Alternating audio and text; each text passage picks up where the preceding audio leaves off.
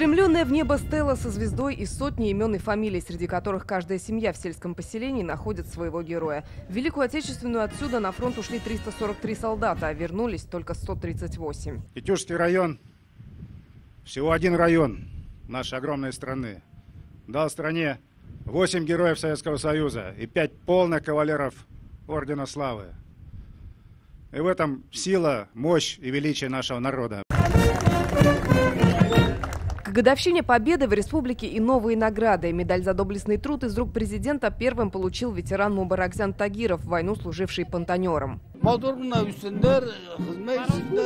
Пусть молодежь мирно и хорошо живет и не забывает усердно трудиться. Мы приняли решение о награждении всех участников и приравных участников войны э, медаль за доблестный труд республики. Это две с половиной тысячи человек. Мы до 30 августа торжественно, персонально каждому эти медали вручим. В первых рядах и дети войны. Ракия Абдулвалиева в 41-м была семилетней девочкой. Но и дети, чем могли, помогали в тылу. А больше всего запомнилось 9 мая 45-го. А мы, знаешь, как кричал? Собирался молодежи. Война кончилась.